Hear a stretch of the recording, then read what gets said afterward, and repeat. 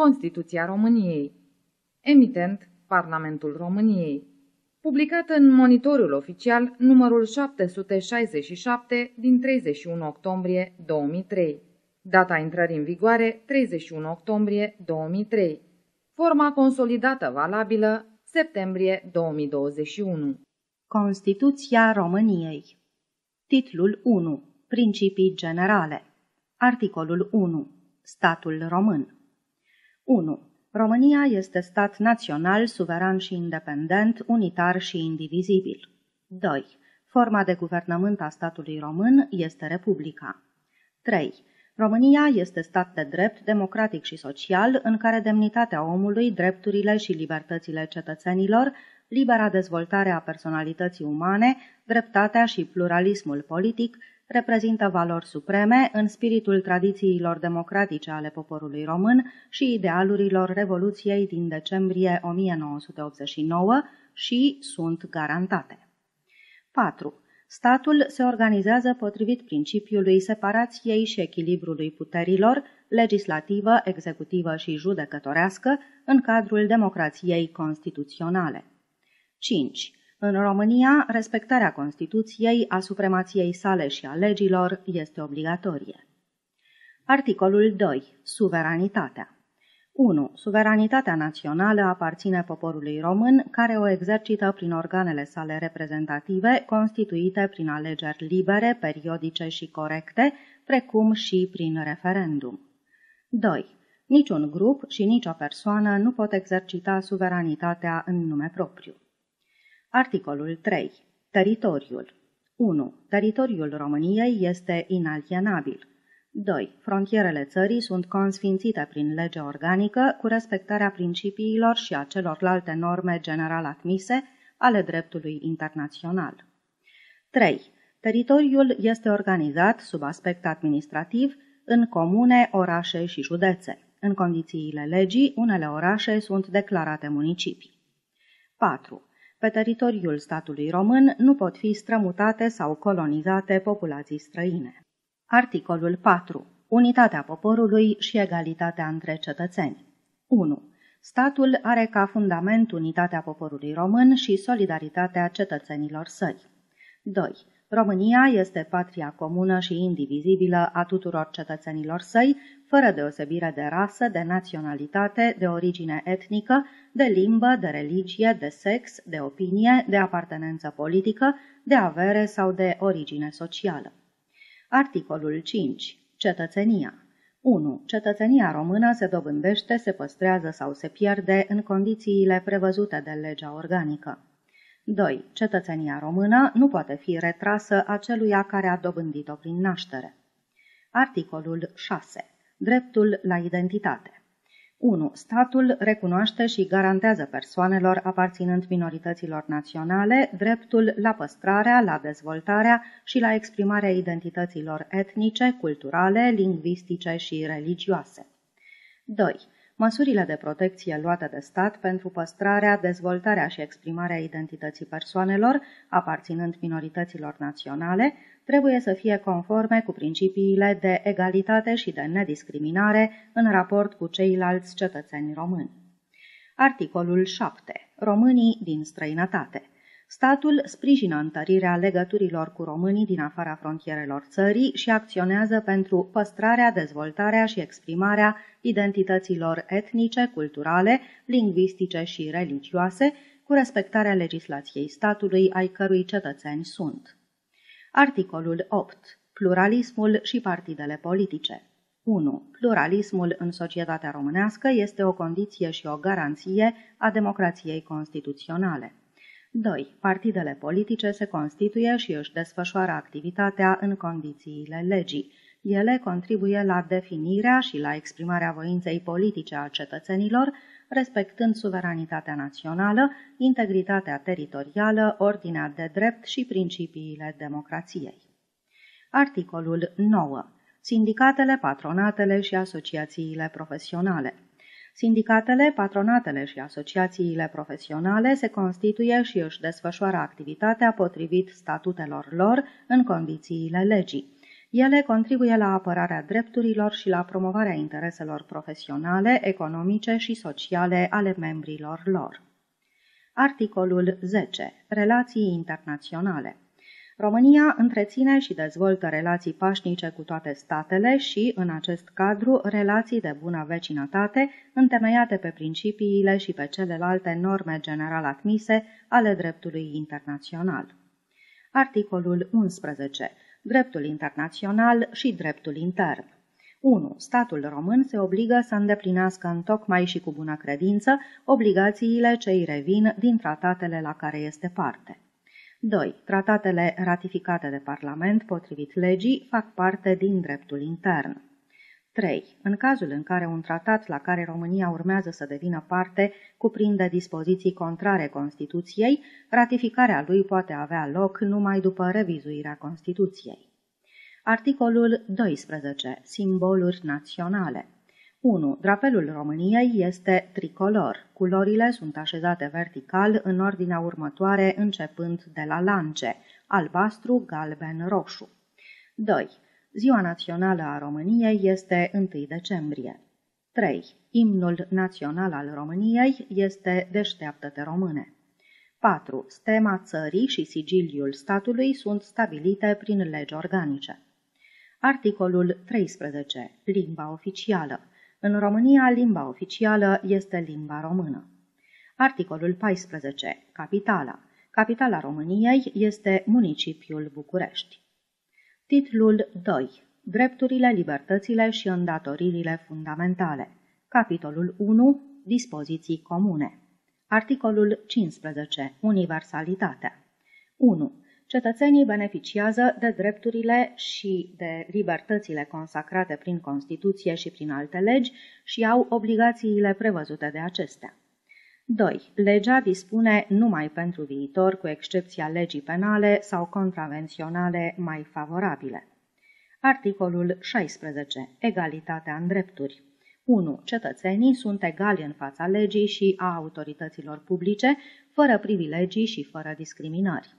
2. Nimeni nu este mai presus de lege. 3.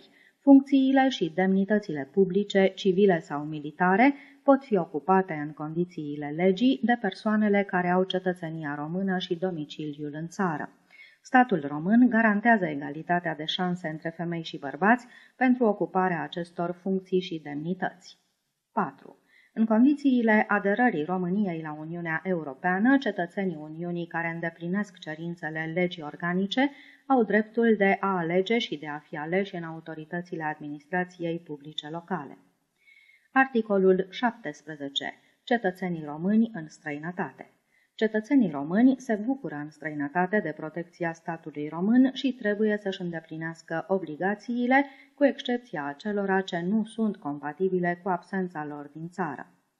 Articolul 18. Cetățenii străini și apatrizii 1. Cetățenii străini și apatrizii care locuiesc în România se bucură de protecția generală a persoanelor și a averilor, garantată de Constituție și de alte legi.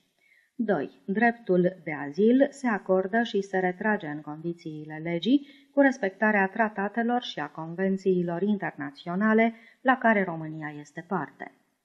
Articolul 19. Extradarea și expulzarea 1. Cetățeanul român nu poate fi extradat sau expulzat din România. 2. Prin derogare de la prevederile alineatului 1, cetățenii români pot fi extradați în baza convențiilor internaționale la care România este parte, în condițiile legii și pe bază de reciprocitate. 3. Cetățenii străini și apatrizii pot fi extradați numai în baza unei convenții internaționale sau în condiții de reciprocitate. 4. Expulzarea sau extradarea se hotărăște de justiție. Articolul 20. Tratatele internaționale privind drepturile omului. 1. Dispozițiile constituționale privind drepturile și libertățile cetățenilor vor fi interpretate și aplicate în concordanță cu Declarația Universală a Drepturilor Omului, cu pactele și cu celelalte tratate la care România este parte. 2. Dacă există neconcordanțe între pactele și tratatele privitoare la drepturile fundamentale ale omului, la care România este parte, și legile interne, au prioritate reglementările internaționale, cu excepția cazului în care Constituția sau legile interne conțin dispoziții mai favorabile. Articolul 21. Accesul liber la justiție. 1. Orice persoană se poate adresa justiției pentru apărarea drepturilor, a libertăților și a intereselor sale legitime. 2. Nicio lege nu poate îngrădi exercitarea acestui drept. 3. Părțile au dreptul la un proces echitabil și la soluționarea cauzelor într-un termen rezonabil. 4. Jurisdicțiile speciale administrative sunt facultative și gratuite. Capitolul 2. Drepturile și libertățile fundamentale. Articolul 22. Dreptul la viață și la integritate fizică și psihică. 1. Dreptul la viață, precum și dreptul la integritate fizică și psihică ale persoanei, sunt garantate. 2. Nimeni nu poate fi supus torturii și niciunui fel de pedeapsă sau de tratament inuman ori degradant. 3. Pedeapsa cu moartea este interzisă. Articolul 23. Libertatea individuală 1. Libertatea individuală și siguranța persoanei sunt inviolabile. 2. Percheziționarea, reținerea sau arestarea unei persoane sunt permise numai în cazurile și cu procedura prevăzute de lege. 3. Reținerea nu poate depăși 24 de ore. 4. Arestarea preventivă se dispune de judecător și numai în cursul procesului penal. 5. În cursul urmăririi penale, arestarea preventivă se poate dispune pentru cel mult 30 de zile și se poate prelungi cu câte cel mult 30 de zile, fără ca durata totală să depășească un termen rezonabil și nu mai mult de 180 de zile. 6. În faza de judecată, instanța este obligată, în condițiile legii, să verifice periodic și nu mai târziu de 60 de zile legalitatea și temeinicia arestării preventive și să dispună de îndată punerea în libertate a inculpatului dacă temeiurile care au determinat arestarea preventivă au încetat sau dacă instanța constată că nu există temeiuri noi care să justifice menținerea privării de libertate. 7. Încheierile instanței privind măsura arestării preventive sunt supuse căilor de atac prevăzute de lege. 8. Celui reținut sau arestat îi se aduc de îndată la cunoștință, în limba pe care o înțelege, motivele reținerii sau ale arestării, iar învinuirea în cel mai scurt termen. Învinuirea se aduce la cunoștință numai în prezența unui avocat ales sau numit din oficiu. 9. Punerea în libertate a celui reținut sau arestat este obligatorie dacă motivele acestor măsuri au dispărut, precum și în alte situații prevăzute de lege. 10. Persoana arestată preventiv are dreptul să ceară punerea sa în libertate provizorie sub control judiciar sau pe cauțiune. 11. Până la rămânerea definitivă a hotărârii judecătorești de condamnare, persoana este considerată nevinovată. 12. Nicio pedeapsă nu poate fi stabilită sau aplicată decât în condițiile și în temeiul legii. 13. Sancțiunea privativă de libertate nu poate fi decât de natură penală. Articolul 24. Dreptul la apărare 1. Dreptul la apărare este garantat. 2. În tot cursul procesului, părțile au dreptul să fie asistate de un avocat ales sau numit din oficiu. Articolul 25. Libera circulație 1. Dreptul la liberă circulație în țară și în străinătate este garantat. Legea stabilește condițiile exercitării acestui drept. 2.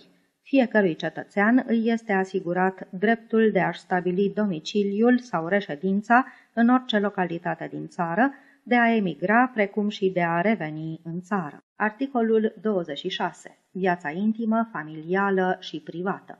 1. Autoritățile publice respectă și ocrotesc viața intimă, familială și privată. 2. Persoana fizică are dreptul să dispună de ea însăși dacă nu încalcă drepturile și libertățile altora, ordinea publică sau bunele moravuri.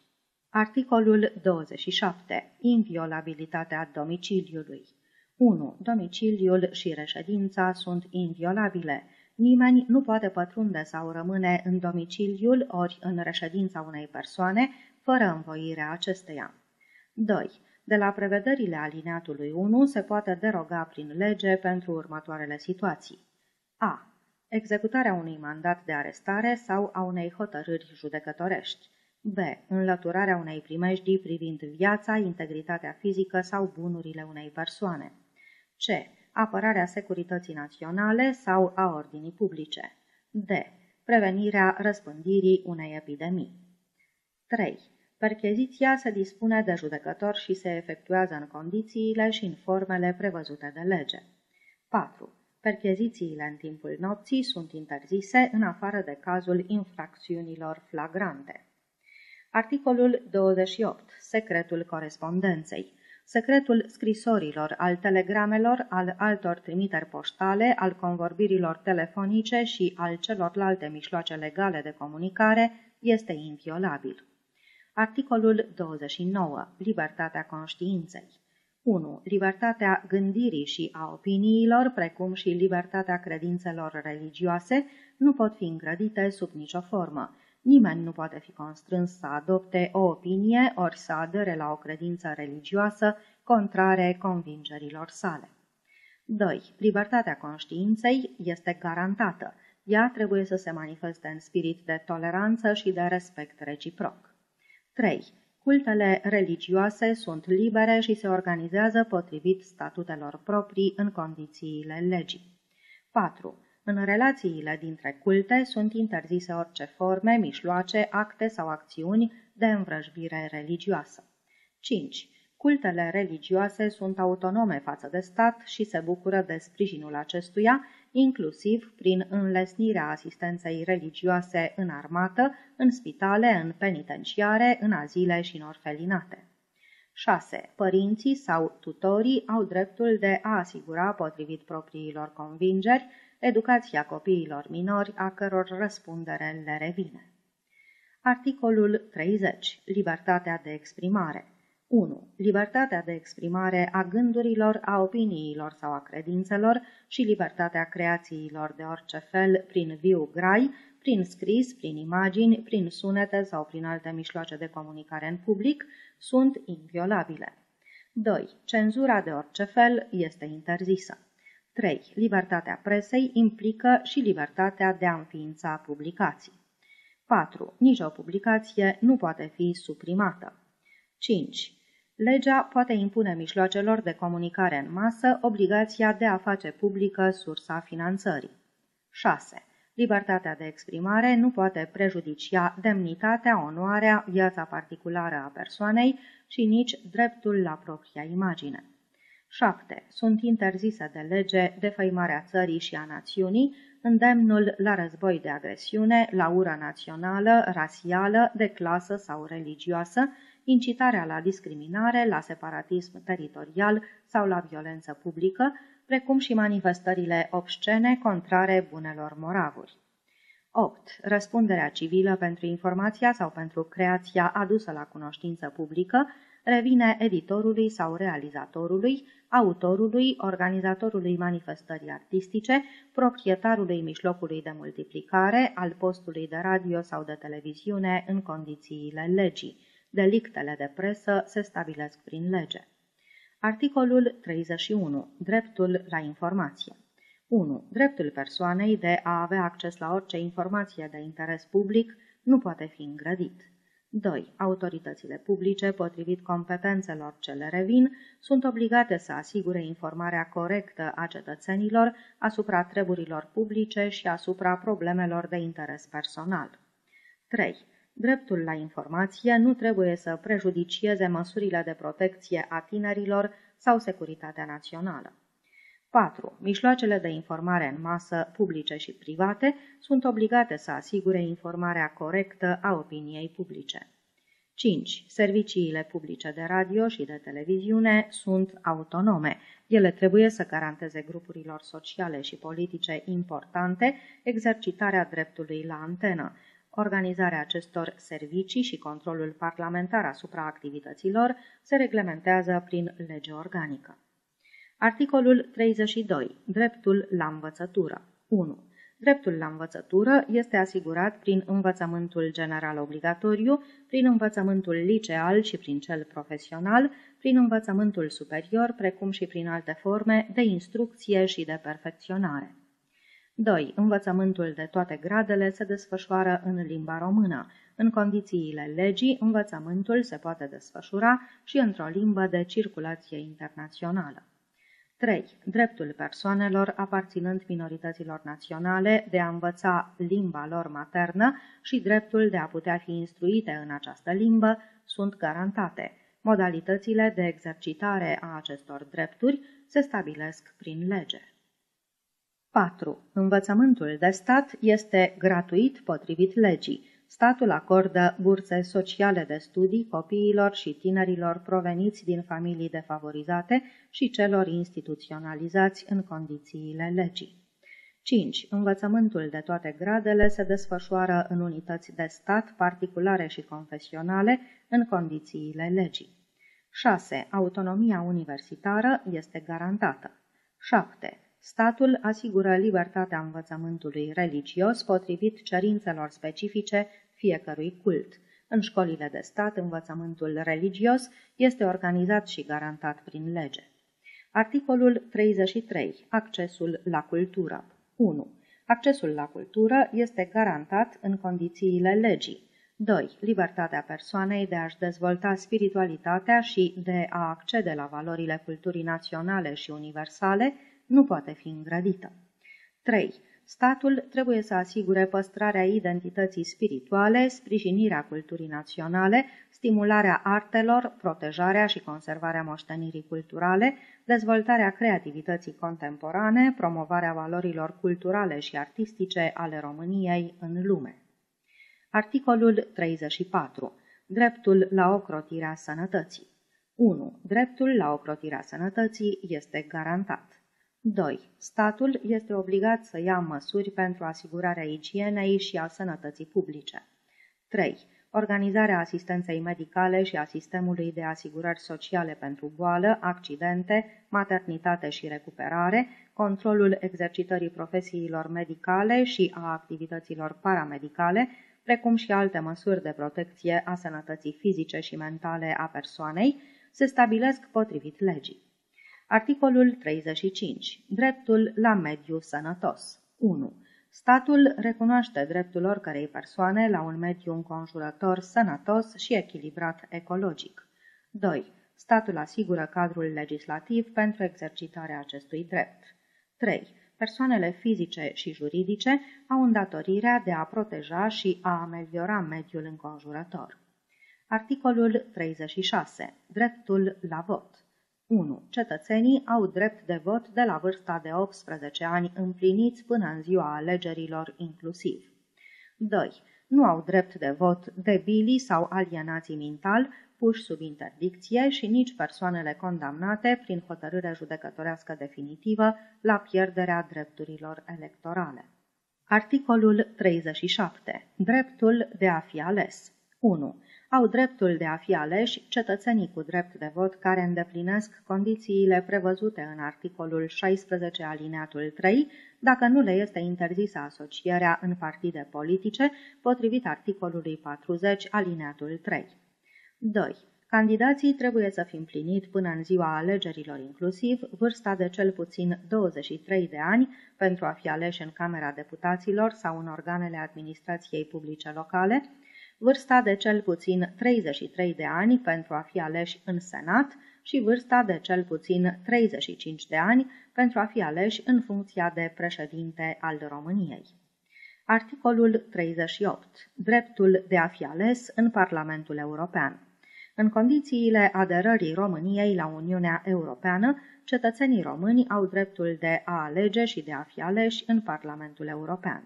Articolul 39 libertatea întrunirilor. Mitingurile, demonstrațiile, procesiunile sau orice alte întruniri sunt libere și se pot organiza și desfășura numai în mod pașnic, fără niciun fel de arme.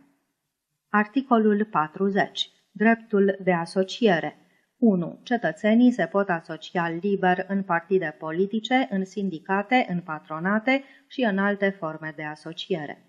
2. Partidele sau organizațiile care, prin scopurile ori prin activitatea lor, militează împotriva pluralismului politic, a principiilor statului de drept, ori a suveranității, a integrității sau a independenței României, sunt neconstituționale. 3 nu pot face parte din partide politice, judecătorii curții constituționale, avocații poporului, magistrații, membrii activi ai armatei, polițiștii și alte categorii de funcționari publici stabilite prin lege organică. 4. Asociațiile cu caracter secret sunt interzise. Articolul 41. Munca și protecția socială a muncii. 1. Dreptul la muncă nu poate fi îngrădit. Alegerea profesiei, a meseriei sau a ocupației, precum și a locului de muncă, este liberă. 2. Salariații au dreptul la măsuri de protecție socială. Acestea privesc securitatea și sănătatea salariaților, regimul de muncă al femeilor și al tinerilor, instituirea unui salariu minim brut pe țară, repausul săptămânal, concediul de odihnă plătit, prestarea muncii în condiții deosebite sau speciale, formarea profesională, precum și alte situații specifice stabilite prin lege. 3. Durata normală a zilei de lucru este în medie de cel mult 8 ore. 4. La muncă egală, femeile au salariu egal cu bărbații. 5. Dreptul la negocieri colective în materie de muncă și caracterul obligatoriu al convențiilor colective sunt garantate. Articolul 42. Interzicerea muncii forțate. 1. Munca forțată este interzisă. 2. Nu constituie muncă forțată. A. Activitățile pentru îndeplinirea îndatoririlor militare, precum și cele desfășurate potrivit legii în locul acestora, din motive religioase sau de conștiință. B. Munca unei persoane condamnate prestată în condiții normale în perioada de detenție sau de libertate condiționată. C. Prestațiile impuse în situația creată de calamități ori de alt pericol, precum și cele care fac parte din obligațiile civile normale stabilite de lege. Articolul 43. Dreptul la grevă. 1. Salariații au dreptul la grevă pentru apărarea intereselor profesionale, economice și sociale. 2. Legea stabilește condițiile și limitele exercitării acestui drept, precum și garanțiile necesare asigurării serviciilor esențiale pentru societate. Articolul 44. Dreptul de proprietate privată. 1. Dreptul de proprietate, precum și creanțele asupra statului, sunt garantate – Conținutul și limitele acestor drepturi sunt stabilite de lege. 2. Proprietatea privată este garantată și ocrotită în mod egal de lege, indiferent de titular. Cetățenii străini și apatrizii pot dobândi dreptul de proprietate privată asupra terenurilor numai în condițiile rezultate din aderarea României la Uniunea Europeană și din alte tratate internaționale la care România este parte pe bază de reciprocitate în condițiile prevăzute prin lege organică, precum și prin moștenire legală. 3. Nimeni nu poate fi expropriat decât pentru o cauză de utilitate publică stabilită potrivit legii, cu dreaptă și prealabilă despăgubire. 4. Sunt interzise naționalizarea sau orice alte măsuri de trecere silită în proprietate publică a unor bunuri pe baza apartenenței sociale, etnice, religioase, politice sau de altă natură discriminatorie a titularilor. 5. Pentru lucrări de interes general, autoritatea publică poate folosi subsolul oricărei proprietăți imobiliare cu obligația de a despăgubi proprietarul pentru daunele aduse solului, plantațiilor sau construcțiilor, precum și pentru alte daune imputabile autorității. 6. Despăgubirile prevăzute în alineatele 3 și 5 se stabilesc de comun acord cu proprietarul sau, în caz de divergență, prin justiție. 7. Dreptul de proprietate obligă la respectarea sarcinilor privind protecția mediului și asigurarea bunei vecinătăți, precum și la respectarea celorlalte sarcini care, potrivit legii sau obiceiului, revin proprietarului. 8. Averea dobândită licit nu poate fi confiscată. Caracterul licit al dobândirii se prezumă. 9. Bunurile destinate, folosite sau rezultate din infracțiuni ori contravenții pot fi confiscate numai în condițiile legii. Articolul 45. Libertatea economică. Accesul liber al persoanei la o activitate economică, libera inițiativă și exercitarea acestora în condițiile legii sunt garantate. Articolul 46. Dreptul la moștenire. Dreptul la moștenire este garantat. Articolul 47. Nivelul de trai.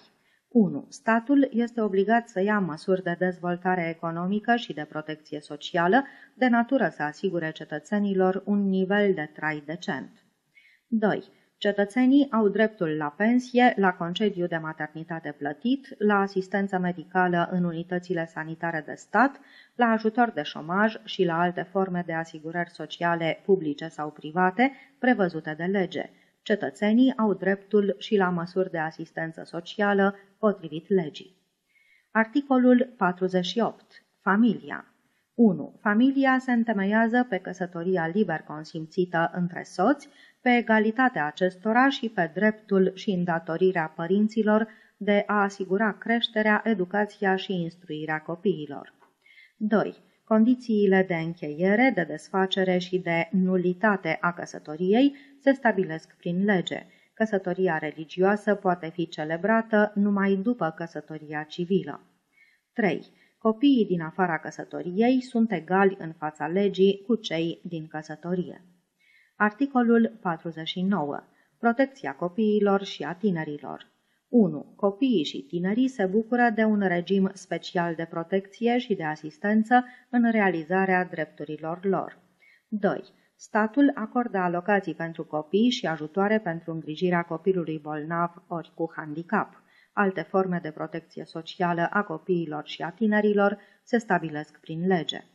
3 exploatarea minorilor, folosirea lor în activități care le-ar dăuna sănătății, moralității sau care le-ar pune în primejdie viața ori dezvoltarea normală sunt interzise. 4. Minorii sub vârsta de 15 ani nu pot fi angajați ca salariați. 5. Autoritățile publice au obligația să contribuie la asigurarea condițiilor pentru participarea liberă a tinerilor la viața politică, socială, economică, culturală și sportivă a țării. Articolul 50. Protecția persoanelor cu handicap. Persoanele cu handicap se bucură de protecție specială. Statul asigură realizarea unei politici naționale de egalitate a șanselor, de prevenire și de tratament ale handicapului în vederea participării efective a persoanelor cu handicap în viața comunității, respectând drepturile și îndatoririle ce revin părinților și tutorilor. Articolul 51. Dreptul de petiționare 1. Cetățenii au dreptul să se adreseze autorităților publice prin petiții formulate numai în numele semnatarilor. 2. Organizațiile legal constituite au dreptul să adreseze petiții exclusiv în numele colectivelor pe care le reprezintă. 3. Exercitarea dreptului de petiționare este scutită de taxă. 4. Autoritățile publice au obligația să răspundă la petiții în termenele și în condițiile stabilite potrivit legii. Articolul 52. Dreptul persoanei vătămate de o autoritate publică. 1. Persoana vătămată într-un drept al său ori într-un interes legitim de o autoritate publică printr-un act administrativ sau prin nesoluționarea în termenul legal a unei cereri, este îndreptățită să obțină recunoașterea dreptului pretins sau a interesului legitim, anularea actului și repararea pagubei. 2. Condițiile și limitele exercitării acestui drept se stabilesc prin lege organică. 3. Statul răspunde patrimonial pentru prejudiciile cauzate prin erorile judiciare. Răspunderea statului este stabilită în condițiile legii și nu înlătură răspunderea magistraților care și-au exercitat funcția cu rea credință sau gravă neglijență. Articolul 53. Restrângerea exercițiului unor drepturi sau al unor libertăți. 1. Exercițiul unor drepturi sau al unor libertăți poate fi restrâns numai prin lege și numai dacă se impune, după caz, pentru apărarea securității naționale, a ordinii, a sănătății ori a moralei publice, a drepturilor și a libertăților cetățenilor, desfășurarea instrucției penale, prevenirea consecințelor unei calamități naturale, ale unui dezastru ori ale unui sinistru deosebit de grav. 2. Restrângerea poate fi dispusă numai dacă este necesară într-o societate democratică. Măsura trebuie să fie proporțională cu situația care a determinat-o, să fie aplicată în mod nediscriminatoriu și fără a aduce atingere existenței dreptului sau a libertății. Capitolul 3. Îndatoririle fundamentale Articolul 54. Fidelitatea față de țară 1. Fidelitatea față de țară este sacră. 2. Cetățenii cărora le sunt încredințate funcții publice, precum și militarii, răspund de îndeplinirea cu credință a obligațiilor ce le revin și, în acest scop, vor depune jurământul cerut de lege. Articolul 55. Apărarea țării 1. Cetățenii au dreptul și obligația să apere România. 2. Condițiile privind îndeplinirea îndatoririlor militare se stabilesc prin lege organică. 3. Cetățenii pot fi incorporați de la vârsta de 20 de ani și până la vârsta de 35 de ani, cu excepția voluntarilor, în condițiile legii organice. Articolul 56. Contribuții financiare 1. Cetățenii au obligația să contribuie prin impozite și prin taxe la cheltuielile publice. 2. Sistemul legal de impuneri trebuie să asigure așezarea justă a sarcinilor fiscale. 3. Orice alte prestații sunt interzise în afara celor stabilite prin lege în situații excepționale. Articolul 57. Exercitarea drepturilor și a libertăților. Cetățenii români, cetățenii străini și apatrizii trebuie să-și exercite drepturile și libertățile constituționale cu bună credință, fără să încalce drepturile și libertățile celorlalți. Capitolul 4. Avocatul poporului Articolul 58. Numirea și rolul 1. Avocatul poporului este numit pe o durată de 5 ani pentru apărarea drepturilor și libertăților persoanelor fizice. Adjuncții avocatului poporului sunt specializați pe domenii de activitate. 2. Avocatul poporului și adjuncții săi nu pot îndeplini nicio altă funcție publică sau privată, cu excepția funcțiilor didactice din învățământul superior. 3. Organizarea și funcționarea instituției avocatului poporului se stabilesc prin lege organică. Articolul 59. Exercitarea atribuțiilor 1. Avocatul poporului își exercită atribuțiile din oficiu sau la cererea persoanelor lezate în drepturile și în libertățile lor, în limitele stabilite de lege. 2. Autoritățile publice sunt obligate să asigure avocatului poporului sprijinul necesar în exercitarea atribuțiilor sale. Articolul 60. Raportul în fața Parlamentului. Avocatul poporului prezintă celor două camere ale Parlamentului rapoarte anual sau la cererea acestora. Rapoartele pot conține recomandări privind legislația sau măsuri de altă natură pentru ocrotirea drepturilor și a libertăților cetățenilor. Titlul 3. Autoritățile publice Capitolul 1. Parlamentul Secțiunea 1. Organizare și funcționare Articolul 61 Rolul și structura 1. Parlamentul este organul reprezentativ suprem al poporului român și unica autoritate legiuitoare a țării. 2. Parlamentul este alcătuit din Camera Deputaților și Senat. Articolul 62. Alegerea camerelor 1. Camera Deputaților și Senatul sunt alese prin vot universal, egal, direct, secret și liber exprimat, potrivit legii electorale. 2. Organizațiile cetățenilor, aparținând minorităților naționale, care nu întrunesc în alegeri numărul de voturi pentru a fi reprezentate în Parlament, au dreptul la câte un loc de deputat în condițiile legii electorale. Cetățenii unei minorități naționale pot fi reprezentați numai de o singură organizație. 3. Numărul deputaților și al senatorilor se stabilește prin legea electorală în raport cu populația țării. Articolul 63. Durata mandatului 1. Camera Deputaților și Senatul sunt alese pentru un mandat de patru ani, care se prelungește de drept în stare de mobilizare, de război, de asediu sau de urgență până la încetarea acestora. 2. Alegerile pentru Camera Deputaților și pentru Senat se desfășoară în cel mult trei luni de la expirarea mandatului sau de la dizolvarea Parlamentului. 3. Parlamentul nou ales se întrunește la convocarea președintelui României în cel mult 20 de zile de la alegeri. 4. Mandatul camerelor se prelungește până la întrunirea legală a noului Parlament. În această perioadă nu poate fi revizuită Constituția și nu pot fi adoptate, modificate sau abrogate legi organice. 5. Proiectele de legi sau propunerile legislative înscrise pe ordinea de zi a Parlamentului precedent își continuă procedura în noul Parlament. Articolul 64. Organizarea internă 1. Organizarea și funcționarea fiecărei camere se stabilesc prin regulament propriu. Resursele financiare ale camerelor sunt prevăzute în bugetele aprobate de acestea. 2. Fiecare cameră își alege un birou permanent. Președintele Camerei Deputaților și președintele Senatului se aleg pe durata mandatului camerelor. Ceilalți membri ai birourilor permanente sunt aleși la începutul fiecărei sesiuni. Membrii birourilor permanente pot fi revocați înainte de expirarea mandatului. 3. Deputații și senatorii se pot organiza în grupuri parlamentare potrivit regulamentului fiecarei camere. 4. Fiecare cameră își constituie comisii permanente și poate institui comisii de anchetă sau alte comisii speciale. Camerele își pot constitui comisii comune. 5. Birourile permanente și comisiile parlamentare se alcătuiesc potrivit configurației politice a fiecărei camere.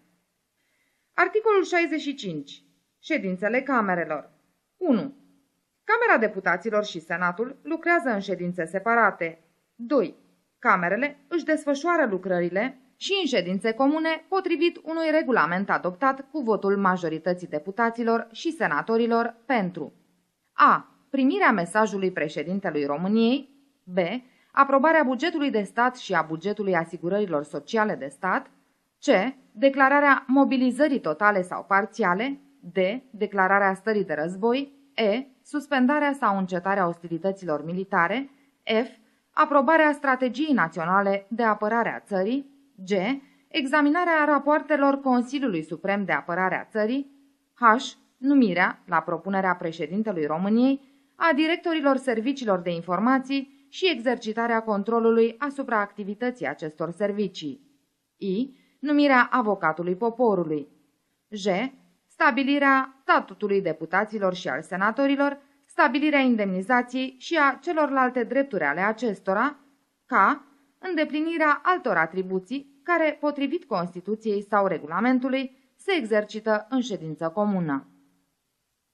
Articolul 66. Sesiuni 1.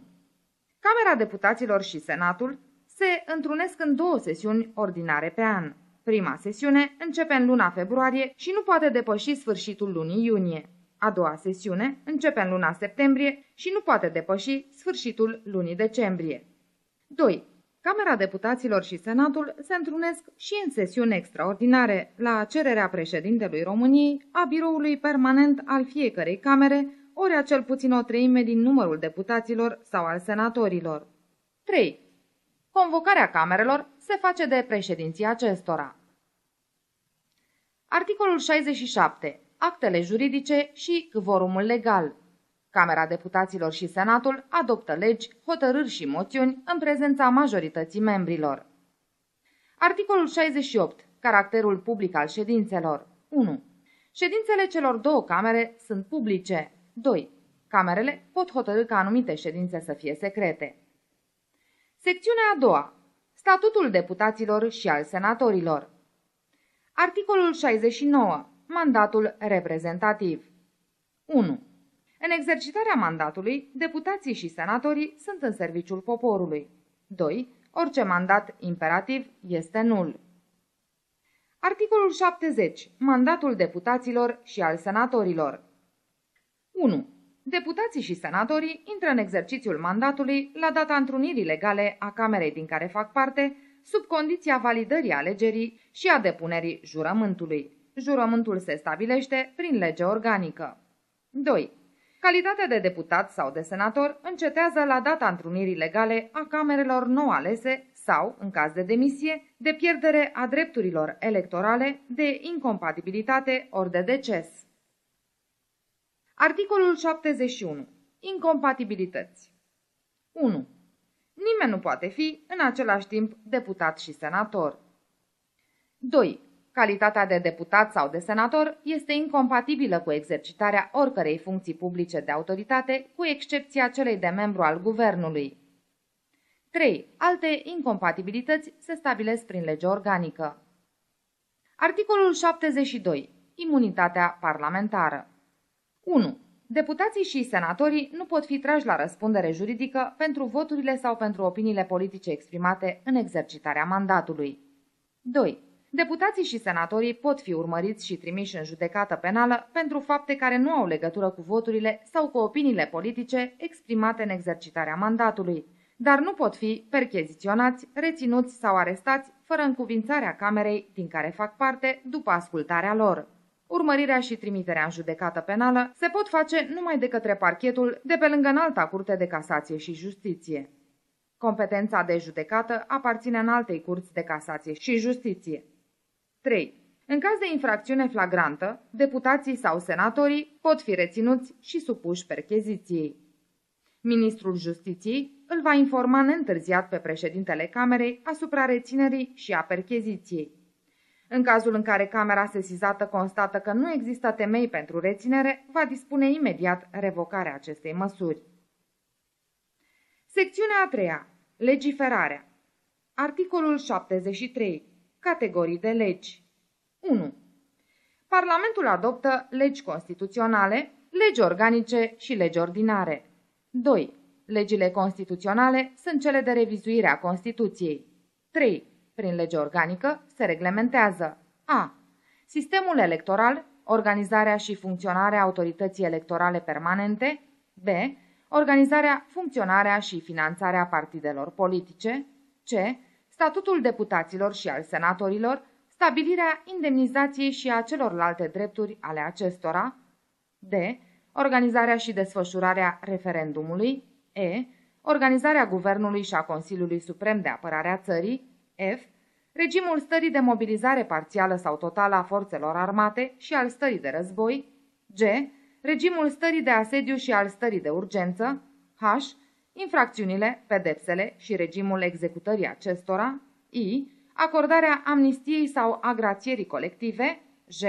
Statutul funcționarilor publici, K. Contenciosul administrativ, L. Organizarea și funcționarea Consiliului Superior al Magistraturii, a instanțelor judecătorești, a Ministerului Public și a Curții de Conturi. M. Regimul juridic general al proprietății și al moștenirii. N. Organizarea generală a învățământului. O. Organizarea administrației publice locale, a teritoriului, precum și regimul general privind autonomia locală. P. Regimul general privind raporturile de muncă, sindicatele, patronatele și protecția socială. R statutul minorităților naționale din România, S. regimul general al cultelor, T. celelalte domenii pentru care în Constituție se prevede adoptarea de legi organice. Articolul 74. Inițiativa legislativă 1. Inițiativa legislativă aparține, după caz, guvernului, deputaților, senatorilor sau unui număr de cel puțin 100.000 de cetățeni cu drept de vot. Cetățenii care își manifestă dreptul la inițiativă legislativă trebuie să provină din cel puțin un sfert din județele țării, iar în fiecare din aceste județe, respectiv în municipiul București, trebuie să fie înregistrate cel puțin 5.000 de semnături în sprijinul acestei inițiative. 2. Nu pot face obiectul inițiativei legislative a cetățenilor problemele fiscale, cele cu caracter internațional, amnistia și grațierea. 3. Guvernul își exercită inițiativa legislativă prin transmiterea proiectului de lege către Camera competentă să-l adopte, ca primă cameră sesizată. 4. Deputații, senatorii și cetățenii care exercită dreptul la inițiativă legislativă pot prezenta propuneri legislative numai în forma cerută pentru proiectele de legi. 5. Propunerile legislative se supun dezbaterii mai întâi camerei competente să le adopte ca primă cameră sesizată. Articolul 75. Sesizarea camerelor 1. Se supun spre dezbatere și adoptare Camerei Deputaților, ca primă cameră sesizată, proiectele de legi și propunerile legislative pentru ratificarea tratatelor sau a altor acorduri internaționale și a măsurilor legislative ce rezultă din aplicarea acestor tratate sau acorduri, precum și proiectele legilor organice prevăzute la articolul 31, alineatul 5, articolul 40, alineatul 3, articolul 55, alineatul 2, articolul 58, alineatul 3, articolul 73, alineatul 3, literele E, K, L, N, O, articolul 79, alineatul 2, articolul 102, alineatul 3, articolul 105, alineatul 2, articolul 117, alineatul 3, articolul 118, alineatele 2 și 3, articolul 120, alineatul 2, articolul 126, alineatele 4 și 5 și articolul 142, alineatul 5. Celelalte proiecte de legi sau propuneri legislative se supun dezbaterii și adoptării ca primă cameră sesizată Senatului. 2. Prima cameră sesizată se pronunță în termen de 45 de zile. Pentru coduri și alte legi de complexitate deosebită, termenul este de 60 de zile. În cazul depășirii acestor termene, se consideră că proiectele de legi sau propunerile legislative au fost adoptate. 3. După adoptare sau respingere de către prima cameră sesizată, proiectul sau propunerea legislativă se trimite celeilalte camere, care va decide definitiv. 4. În cazul în care prima cameră sesizată adoptă o prevedere care, potrivit alineatului 1, intră în competența sa decizională, prevederea este definitiv adoptată dacă și cea de-a doua cameră este de acord. În caz contrar, numai pentru prevederea respectivă, legea se întoarce la prima cameră sesizată, care va decide definitiv în procedură de urgență. 5. Dispozițiile alineatului 4, referitoare la întoarcerea legii, se aplică în mod corespunzător și în cazul în care Camera Decizională adoptă o prevedere pentru care competența decizională aparține primei camere. Articolul 76. Adoptarea legilor și a hotărârilor 1. Legile organice și hotărârile privind regulamentele camerelor se adoptă cu votul majorității membrilor fiecarei camere. 2. Legile ordinare și hotărârile se adoptă cu votul majorității membrilor prezenți din fiecare cameră. 3. La cererea guvernului sau din proprie inițiativă, Parlamentul poate adopta proiecte de legi sau propuneri legislative cu procedură de urgență, stabilită potrivit regulamentului fiecărei camere. Articolul 77. Promulgarea legii 1. Legea se trimite spre promulgare președintelui României. Promulgarea legii se face în termen de cel mult 20 de zile de la primire. 2. Înainte de promulgare, președintele poate cere Parlamentului o singură dată reexaminarea legii. 3. Dacă președintele a cerut reexaminarea legii, ori dacă s-a cerut verificarea constituționalității ei, promulgarea legii se face în cel mult 10 zile de la primirea legii adoptate, după reexaminare sau de la primirea deciziei Curții Constituționale, prin care i s-a confirmat constituționalitatea. Articolul 78. Intrarea în vigoare a legii. Legea se publică în monitorul oficial al României și intră în vigoare la trei zile de la data publicării sau la o dată ulterioară prevăzută în textul ei. Articolul 79. Consiliul Legislativ 1. Consiliul Legislativ este un organ consultativ de specialitate al Parlamentului care avizează proiectele de acte normative în vederea sistematizării, unificării și coordonării întregii legislații. El ține evidența oficială a legislației României. 2.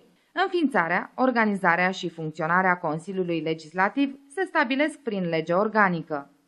Capitolul 2. Președintele României Articolul 80. Rolul președintelui 1. Președintele României reprezintă statul român și este garantul independenței naționale, al unității și al integrității teritoriale a țării. 2. Președintele României veghează la respectarea Constituției și la buna funcționare a autorităților publice. În acest scop, președintele exercită funcția de mediere între puterile statului, precum și între stat și societate. Articolul 81. Alegerea președintelui 1. Președintele României este ales prin vot universal, egal, direct, secret și liber exprimat. 2. Este declarat ales candidatul care a întrunit, în primul tur de scrutin, majoritatea de voturi ale alegătorilor înscriși în listele electorale. 3. În cazul în care niciunul dintre candidați nu a întrunit această majoritate, se organizează al doilea tur de scrutin între primii doi candidați stabiliți în ordinea numărului de voturi obținute în primul tur. Este declarat ales candidatul care a obținut cel mai mare număr de voturi. 4. Nicio persoană nu poate îndeplini funcția de președinte al României decât pentru cel mult două mandate. Acestea pot fi și succesive. Articolul 82. Validarea mandatului și depunerea jurământului. 1. Rezultatul alegerilor pentru funcția de președinte al României este validat de Curtea Constituțională. 2. Candidatul a cărui alegere a fost validată depune în fața Camerei Deputaților și a Senatului, în ședință comună, următorul jurământ. Jur să-mi dăruiesc toată puterea și priceperea pentru propășirea spirituală și materială a poporului român, să respect Constituția și legile țării, să apăr democrația, drepturile și libertățile fundamentale ale cetățenilor, suveranitatea, independența, unitatea și integritatea teritorială a României. Așa să-mi ajute Dumnezeu. Articolul 83. Durata mandatului 1. Mandatul președintelui României este de 5 ani și se exercită de la data depunerii jurământului. 2. Președintele României își exercită mandatul până la depunerea jurământului de președintele nou ales. 3. Mandatul președintelui României poate fi prelungit prin lege organică în caz de război sau de catastrofă. Articolul 84. Incompatibilități și imunități 1. În timpul mandatului, președintele României nu poate fi membru al unui partid și nu poate îndeplini nicio altă funcție publică sau privată. 2. Președintele României se bucură de imunitate. Prevederile articolului 72, alineatul 1, se aplică în mod corespunzător. Articolul 85. Numirea guvernului 1. Președintele României desemnează un candidat pentru funcția de prim-ministru și numește guvernul pe baza votului de încredere acordat de Parlament. 2. În caz de remaniere guvernamentală sau de vacanța postului, președintele revocă și numește, la propunerea primului ministru, pe unii membri ai guvernului. 3. Dacă prin propunerea de remaniere se schimbă structura sau compoziția politică a guvernului, președintele României va putea exercita atribuția prevăzută la alineatul 2 numai pe baza aprobării Parlamentului acordată la propunerea primului ministru. Articolul 86. Consultarea guvernului Președintele României poate consulta guvernul cu privire la probleme urgente și de importanță deosebită. Articolul 87. Participarea la ședințele guvernului 1. Președintele României poate lua parte la ședințele guvernului în care se dezbat probleme de interes național privind politica externă, apărarea țării, asigurarea ordinii publice și, la cererea primului ministru, în alte situații. 2. Președintele României prezidează ședințele guvernului la care participă. Articolul 88. Mesaje Președintele României adresează Parlamentului mesaje cu privire la principalele probleme politice ale națiunii. Articolul 89. Dizolvarea Parlamentului 1. După consultarea președinților celor două camere și a liderilor grupurilor parlamentare, președintele României poate să dizolve Parlamentul dacă acesta nu a acordat votul de încredere pentru formarea guvernului în termen de 60 de zile de la prima solicitare și numai după respingerea cel puțin două solicitări de investitură. 2. În cursul unui an, Parlamentul poate fi dizolvat o singură dată. 3. Parlamentul nu poate fi dizolvat în ultimele șase luni ale mandatului președintelui României și nici în timpul stării de mobilizare, de război, de asediu sau de urgență. Articolul 90. Referendumul Președintele României, după consultarea Parlamentului, poate cere poporului să-și exprime, prin referendum, voința cu privire la problemele de interes național. Articolul 91. Atribuții în domeniul politicii externe. 1. Președintele încheie tratate internaționale în numele României, negociate de guvern, și le supune spre ratificare Parlamentului într-un termen rezonabil. Celelalte tratate și acorduri internaționale se încheie, se aprobă sau se ratifică potrivit procedurii stabilite prin lege. 2. Președintele, la propunerea guvernului, acreditează și recheamă reprezentanții diplomatice ai României și aprobă înființarea, desfințarea sau schimbarea rangului misiunilor diplomatice. 3. Reprezentanții diplomatici ai altor state sunt acreditați pe lângă președintele României. Articolul 92. Atribuții în domeniul apărării 1. Președintele României este comandantul forțelor armate și îndeplinește funcția de președinte al Consiliului Suprem de Apărare a țării. 2. El poate declara, cu aprobarea prealabilă a Parlamentului, mobilizarea parțială sau totală a forțelor armate. Numai în cazuri excepționale, hotărârea președintelui se supune ulterior aprobării Parlamentului în cel mult 5 zile de la adoptare. 3. În caz de agresiune armată îndreptată împotriva țării, președintele României ia măsuri pentru respingerea agresiunii și le aduce neîntârziat la cunoștința Parlamentului printr-un mesaj. Dacă Parlamentul nu se află în sesiune, el se convoacă de drept în 24 de ore de la declanșarea agresiunii. 4. În caz de mobilizare sau de război, Parlamentul își continuă activitatea pe toată durata acestor stări, iar dacă nu se află în sesiune, se convoacă de drept în 24 de ore de la declararea lor. Articolul 93. Măsuri excepționale 1. Președintele României instituie, potrivit legii, starea de asediu sau starea de urgență în întreaga țară, ori în unele unități administrativ-teritoriale și solicită Parlamentului încuvințarea măsurii adoptate în cel mult 5 zile de la luarea acesteia. 2. Dacă Parlamentul nu se află în sesiune, el se convoacă de drept în cel mult 48 de ore de la instituirea stării de asediu sau a stării de urgență și funcționează pe toată durata acestora. Articolul 94. Alte atribuții. Președintele României îndeplinește și următoarele atribuții. A. Conferă decorații și titluri de onoare. B. Acordă gradele de mareșal, de general și de amiral. C numește în funcții publice în condițiile prevăzute de lege. D. Acordă grațierea individuală. Articolul 95. Suspendarea din funcție 1. În cazul săvârșirii unor fapte grave, prin care încalcă prevederile Constituției, președintele României poate fi suspendat din funcție de Camera Deputaților și de Senat în ședință comună cu votul majorității deputaților și senatorilor după consultarea Curții Constituționale.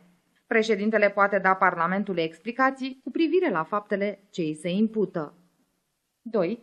Propunerea de suspendare din funcție poate fi inițiată de cel puțin o treime din numărul deputaților și senatorilor și se aduce, neîntârziat, la cunoștință președintelui. 3. Dacă propunerea de suspendare din funcție este aprobată, în cel mult 30 de zile se organizează un referendum pentru demiterea președintelui. Articolul 96. Punerea sub acuzare 1. Camera Deputaților și Senatul, în ședință comună, cu votul la cel puțin două treimi din numărul deputaților și senatorilor, pot hotărâ punerea sub acuzare a președintelui României pentru înaltă trădare. 2. Propunerea de punere sub acuzare poate fi inițiată de majoritatea deputaților și senatorilor și se aduce, neîntârziat, la cunoștință președintelui României pentru a putea da explicații cu privire la faptele ce îi se impută. 3. De la data punerii sub acuzare și până la data demiterii, președintele este suspendat de drept. 4. Competența de judecată aparține în altei curți de casație și justiție. Președintele este demis de drept la data rămânerii definitive a hotărârii de condamnare. Articolul 97. Vacanța funcției 1. Vacanța funcției de președinte al României intervine în caz de demisie, de demitere din funcție, de imposibilitate definitivă a exercitării atribuțiilor sau de deces. 2. În termen de trei luni de la data la care a intervenit vacanța funcției de președinte al României, guvernul va organiza alegeri pentru un nou președinte. Articolul 98. Interimatul funcției 1. Dacă funcția de președinte devine vacantă, ori dacă președintele este suspendat din funcție sau dacă se află în imposibilitate temporară de a-și exercita atribuțiile, interimatul se asigură, în ordine, de președintele Senatului sau de președintele Camerei Deputaților. 2. Atribuțiile prevăzute la articolele 88-90 nu pot fi exercitate pe durata interimatului funcției prezidențiale. Articolul 99. Răspunderea președintelui interimar. Dacă persoana care asigură interimatul funcției de președinte al României săvârșește fapte grave prin care se încalcă prevederile Constituției, se aplică articolul 95 și articolul 98. Articolul 100. Actele președintelui 1. În exercitarea atribuțiilor sale, președintele României emite decrete care se publică în monitorul oficial al României. Nepublicarea atrage inexistența decretului. 2. Decretele emise de președintele României în exercitarea atribuțiilor sale, prevăzute în articolul 91, alineatele 1 și 2, articolul 92, alineatele 2 și 3, articolul 93, alineatul 1 și articolul 94, literele A, B și D, se contrasemnează de primul ministru. Articolul 101. Indemnizația și celelalte drepturi. Indemnizația și celelalte drepturi ale președintelui României se stabilesc prin lege. Capitolul 3. Guvernul. Articolul 102. Rolul și structura. 1. Guvernul, potrivit programului său de guvernare, acceptat de Parlament, asigură realizarea politicii interne și externe a țării și exercită conducerea generală a administrației publice. 2. În îndeplinirea atribuțiilor sale, guvernul cooperează cu organismele sociale interesate. 3. Guvernul este alcătuit de prim-ministru, miniștri și alți membri stabiliți prin lege organică. Articolul 103. Investitura 1. Președintele României desemnează un candidat pentru funcția de prim-ministru, în urma consultării partidului care are majoritatea absolută în Parlament, ori dacă nu există o asemenea majoritate a partidelor reprezentate în Parlament. 2. Candidatul pentru funcția de prim-ministru va cere, în termen de 10 zile de la desemnare, votul de încredere al Parlamentului asupra programului și al întregii liste a guvernului. 3. Programul și lista guvernului se dezbat de Camera Deputaților și de Senat în ședință comună. Parlamentul acordă încredere guvernului cu votul majorității deputaților și senatorilor. Articolul 104. Jurământul de credință 1. Primul ministru, miniștrii și ceilalți membri ai guvernului vor depune individual în fața președintelui României jurământul de la articolul 82. 2. Guvernul, în întregul său, și fiecare membru în parte, își exercită mandatul începând de la data depunerii jurământului. Articolul 105. Incompatibilități 1. Funcția de membru al guvernului este incompatibilă cu exercitarea altei funcții publice de autoritate, cu excepția celei de deputat sau de senator. De asemenea, ea este incompatibilă cu exercitarea unei funcții de reprezentare profesională salarizate în cadrul organizațiilor cu scop comercial. 2. Alte incompatibilități se stabilesc prin lege organică. Articolul 106. Încetarea funcției de membru. Funcția de membru al guvernului încetează în urma demisiei, a revocării, a pierderii drepturilor electorale, a stării de incompatibilitate, a decesului, precum și în alte cazuri prevăzute de lege. Articolul 107. Primul ministru 1. Primul ministru conduce guvernul și coordonează activitatea membrilor acestuia, respectând atribuțiile ce le revin. De asemenea, prezintă Camerei Deputaților sau Senatului rapoarte și declarații cu privire la politica guvernului, care se dezbat cu prioritate. 2. Președintele României nu îl poate revoca pe primul ministru. 3.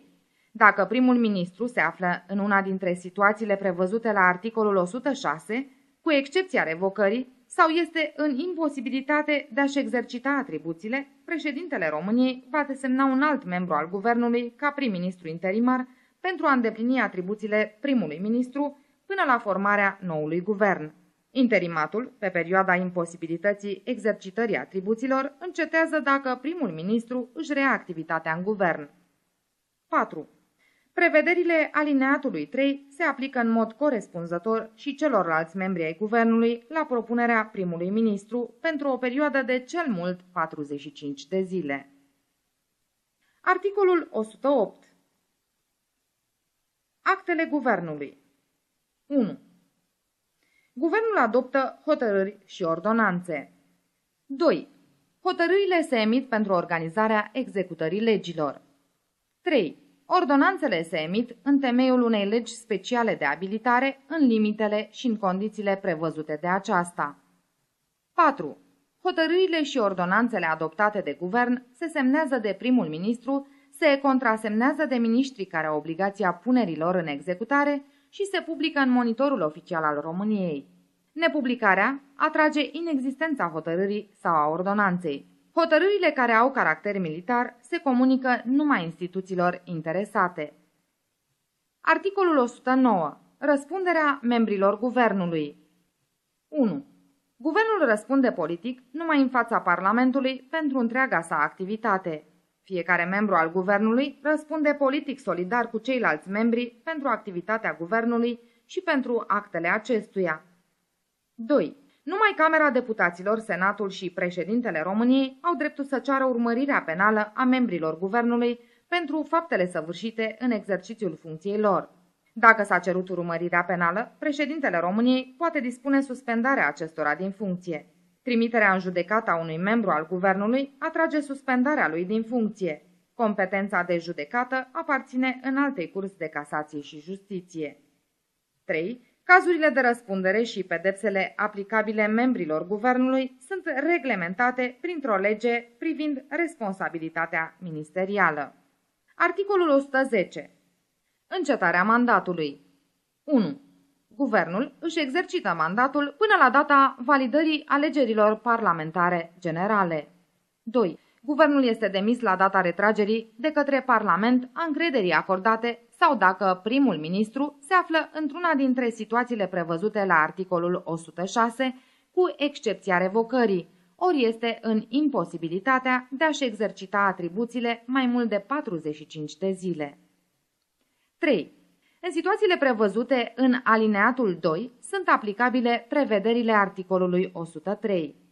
4. Guvernul al cărui mandat a încetat, potrivit alineatelor 1 și 2, îndeplinește numai actele necesare pentru administrarea treburilor publice până la depunerea jurământului de membrii noului guvern.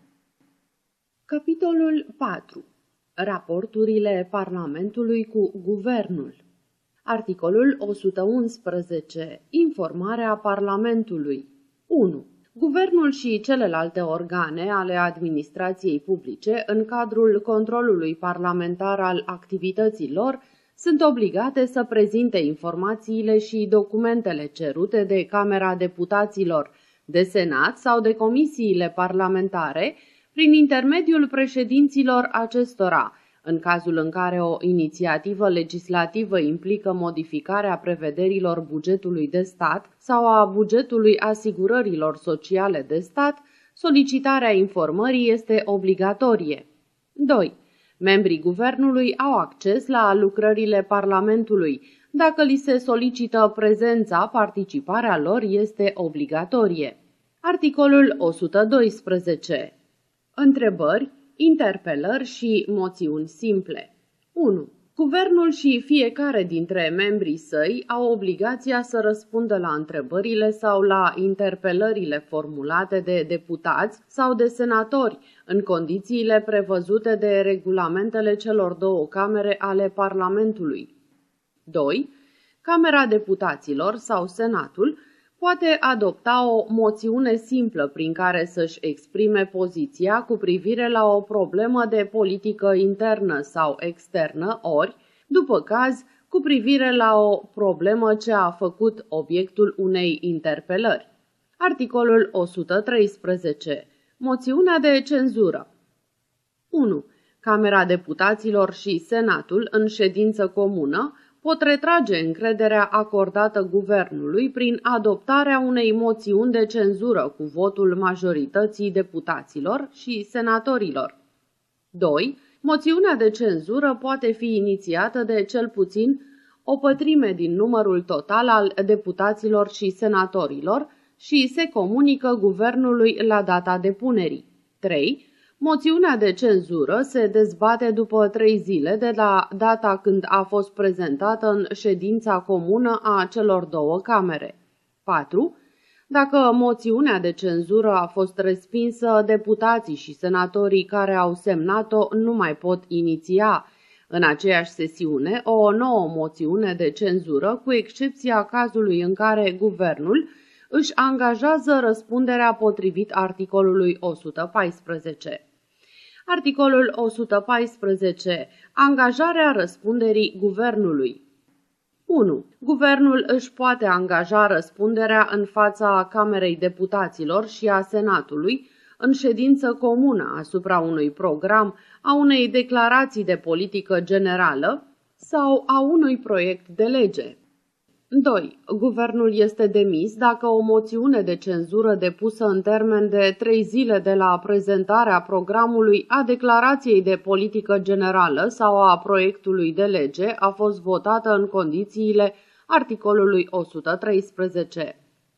3. Dacă guvernul nu a fost demis potrivit alineatului 2, proiectul de lege prezentat, modificat sau completat, după caz, cu amendamente acceptate de guvern, se consideră adoptat, iar aplicarea programului sau a declarației de politică generală devine obligatorie pentru guvern. 4. În cazul în care președintele României cere reexaminarea legii adoptate potrivit alineatului 3, dezbaterea acesteia se va face în ședință comună a celor două camere. Articolul 115. Delegarea legislativă 1. Parlamentul poate adopta o lege specială de abilitare a guvernului pentru a emite ordonanțe în domenii care nu fac obiectul legilor organice. 2. Legea de abilitare va stabili în mod obligatoriu domeniul și data până la care se pot emite ordonanțe. 3. Dacă legea de abilitare o cere, ordonanțele se supun aprobării Parlamentului potrivit procedurii legislative până la împlinirea termenului de abilitare. Nerespectarea termenului atrage încetarea efectelor ordonanței. 4. Guvernul poate adopta ordonanțe de urgență numai în situații extraordinare a căror reglementare nu poate fi amânată, având obligația de a motiva urgența în cuprinsul acestora. 5. Ordonanța de urgență intră în vigoare numai după depunerea sa spre dezbatere în procedură de urgență la Camera competentă să fie sesizată și după publicarea ei în monitorul oficial al României.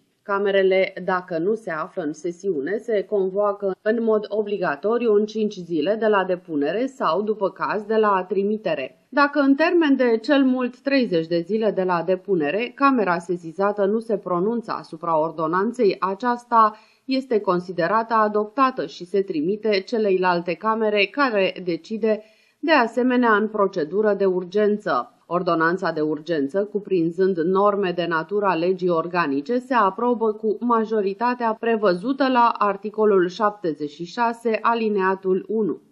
6.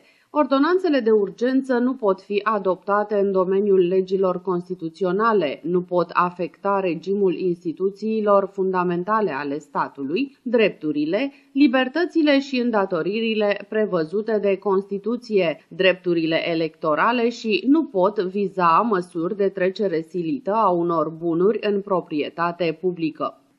7. Ordonanțele cu care Parlamentul a fost sesizat se aprobă sau se resping printr-o lege în care vor fi cuprinse și ordonanțele ale căror efecte au încetat potrivit alineatului 3. 8. Prin legea de aprobare sau de respingere se vor reglementa, dacă este cazul, măsurile necesare cu privire la efectele juridice produse pe perioada de aplicare a ordonanței. Capitolul 5. Administrația publică. Secțiunea 1. Administrația publică centrală de specialitate. Articolul 116. Structura. 1. Ministerele se organizează numai în subordinea guvernului. 2. Alte organe de specialitate se pot organiza în subordinea guvernului, ori a ministerelor sau ca autorități administrative autonome. Articolul 117. Înființarea 1. Ministerele se înființează, se organizează și funcționează potrivit legii. 2. Guvernul și ministerele, cu avizul Curții de Conturi, pot înființa organe de specialitate în subordinea lor, numai dacă legea le recunoaște această competență. 3. Autorități administrative autonome se pot înființa prin lege organică. Articolul 118. Forțele armate 1. Armata este subordonată exclusiv voinței poporului pentru garantarea suveranității, a independenței și a unității statului, a integrității teritoriale a țării și a democrației constituționale, în condițiile legii și ale tratatelor internaționale la care România este parte, armata contribuie la apărarea colectivă în sistemele de alianță militară și participă la acțiuni privind menținerea sau restabilirea păcii. 2. Structura sistemului național de apărare, pregătirea populației, a economiei și a teritoriului pentru apărare, precum și statutul cadrelor militare, se stabilesc prin lege organică. 3. Prevederile alineatelor 1 și 2 se aplică în mod corespunzător și celorlalte componente ale forțelor armate stabilite potrivit legii. 4. Organizarea de activități militare sau paramilitare în afara unei autorități statale este interzisă. 5. Pe teritoriul României pot intra, staționa, desfășura operațiuni sau trece trupe străine numai în condițiile legii sau ale tratatelor internaționale la care România este parte. Articolul 119. Consiliul Suprem de Apărare a Țării. Consiliul Suprem de Apărare a Țării organizează și coordonează unitar activitățile care privesc apărarea țării și securitatea națională, participarea la menținerea securității internaționale și la apărarea colectivă în sistemele de alianță militară, precum și la acțiuni de menținere sau de restabilire a păcii. Secțiunea a doua, Administrația publică locală. Articolul 120.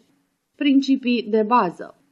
1. Administrația publică din unitățile administrativ-teritoriale se întemeiază pe principiile descentralizării, autonomiei locale și deconcentrării serviciilor publice.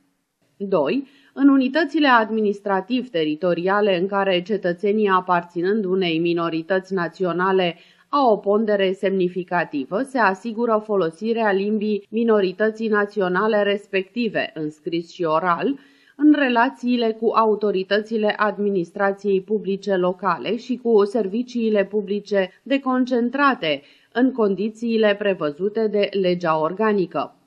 Articolul 121. Autorități comunale și orășenești 1. Autoritățile administrației publice prin care se realizează autonomia locală în comune și în orașe sunt comisiile locale alese și primarii aleși în condițiile legii. 2. Comisiile locale și primarii funcționează în condițiile legii ca autorități administrative autonome și rezolvă treburile publice din comune și din orașe. 3 autoritățile prevăzute la alineatul 1 se pot constitui și în subdiviziunile administrativ-teritoriale ale municipiilor. Articolul 122. Consiliul Județean 1. Consiliul Județean este autoritatea administrației publice pentru coordonarea activității consiliilor comunale și orășenești în vederea realizării serviciilor publice de interes județean. 2. Consiliul Județean este ales și funcționează în condițiile legii. Articolul 123. Prefectul 1. Guvernul numește un prefect în fiecare județ și în municipiul București. 2. Prefectul este reprezentantul guvernului pe plan local și conduce serviciile publice deconcentrate ale ministerelor și ale celorlalte organe ale administrației publice centrale din unitățile administrativ-teritoriale. 3. Atribuțiile prefectului se stabilesc prin lege organică. 4. Între prefecți, pe de o parte, consiliile locale și primari, precum și consiliile județene și președinții acestora, pe de altă parte, nu există raporturi de subordonare. 5. Prefectul poate ataca în fața instanței de contencios administrativ un act al Consiliului Județean, al celui local sau al primarului, în cazul în care consideră actul ilegal. Actul atacat este suspendat de drept. Capitolul 4. Autoritatea judecătorească Secțiunea 1. Instanțele judecătorești Articolul 124. Înfăptuirea justiției 1. Justiția se înfăptuiește în numele legii. 2. Justiția este unică, imparțială și egală pentru toți. 3. Judecătorii sunt independenți și se supun numai legii. Articolul 125. Statutul judecătorilor 1. Judecătorii numiți de președintele României sunt inamovibili în condițiile legii. 2. Propunerile de numire, precum și promovarea, transferarea și sancționarea judecătorilor sunt de competența Consiliului Superior al Magistraturii în condițiile legii sale organice. 3. Funcția de judecător este incomparabilă cu orice altă funcție publică și privată, cu excepția funcțiilor didactice din învățământul superior. Articolul 126. Instanțele judecătorești 1. Justiția se realizează prin înalta curte de casație și justiție și prin celelalte instanțe judecătorești stabilite de lege. 2. Competența instanțelor judecătorești și procedura de judecată sunt prevăzute numai prin lege. 3. În alta Curte de Casație și Justiție asigură interpretarea și aplicarea unitară a legii de către celelalte instanțe judecătorești, potrivit competenței sale. 4. Compunerea în altei curți de casație și justiție și regulile de funcționare a acesteia se stabilesc prin lege organică. 5. Este interzisă înființarea de instanțe extraordinare. Prin lege organică pot fi înființate instanțe specializate în anumite materii, cu posibilitatea participării, după caz, a unor persoane din afara magistraturii. 6. Controlul judecătoresc al actelor administrative ale autorităților publice pe calea contenciosului administrativ este garantat cu excepția celor care privesc raporturile cu Parlamentul, precum și a actelor de comandament cu caracter militar. Instanțele de contencios administrativ sunt competente să soluționeze cererile persoanelor vătămate prin ordonanțe sau, după caz, prin dispoziții din ordonanțe declarate neconstituționale. Articolul 127. Caracterul public al dezbaterilor. Ședințele de judecată sunt publice, afară de cazurile prevăzute de lege. Articolul 128. Folosirea limbii materne și a interpretului în justiție. 1. Procedura judiciară se desfășoară în limba română. 2. Cetățenii români, aparținând minorităților naționale, au dreptul să se exprime în limba maternă în fața instanțelor de judecată în condițiile legii organice. 3. Modalitățile de exercitare a dreptului prevăzut la alineatul 2, inclusiv prin folosirea de interpreți sau traduceri, se vor stabili astfel încât să nu împiedice buna administrare a justiției și să nu implice cheltuieli suplimentare pentru cei interesați. 4. Cetățenii străini și apatrizii care nu înțeleg sau nu vorbesc limba română au dreptul de a lua cunoștință de toate actele și lucrările dosarului, de a vorbi în instanță și de a pune concluzii prin interpret. În procesele penale, acest drept este asigurat în mod gratuit. Articolul 129. Folosirea căilor de atac Împotriva hotărârilor judecătorești, părțile interesate și Ministerul Public pot exercita căile de atac în condițiile legii. Articolul 130. Poliția instanțelor. Instanțele judecătorești dispun de poliția pusă în serviciul lor. Secțiunea a doua. Ministerul Public. Articolul 131. Rolul Ministerului Public. 1. În activitatea judiciară, Ministerul Public reprezintă interesele generale ale societății și apără ordinea de drept, precum și drepturile și libertățile cetățenilor. 2. Ministerul Public își exercită atribuțiile prin procurori constituiți în parchete în condițiile legii. 3. Parchetele funcționează pe lângă instanțele de judecată, conduc și supraveghează activitatea de cercetare penală a poliției judiciare în condițiile legii. Articolul 132. Statutul procurorilor 1. Procurorii își desfășoară activitatea potrivit principiului legalității, al imparțialității și al controlului ierarhic, sub autoritatea ministrului justiției. 2. Funcția de procuror este incompatibilă cu orice altă funcție publică sau privată, cu excepția funcțiilor didactice din învățământul superior. Secțiunea a treia, Consiliul Superior al Magistraturii. Articolul 133. Rolul și structura. 1. Consiliul Superior al Magistraturii este garantul independenței justiției. 2. Consiliul Superior al Magistraturii este alcătuit din 19 membri, din care a. 14 sunt aleși în adunările generale ale magistraților și validați de Senat. Aceștia fac parte din două secții, una pentru judecători și una pentru procurori. Prima secție este compusă din 9 judecători, iar cea de-a doua din 5 procurori. B doi reprezentanți ai societății civile, specialiști în domeniul dreptului, care se bucură de înaltă reputație profesională și morală, aleși de senat, aceștia participă numai la lucrările în plen. C.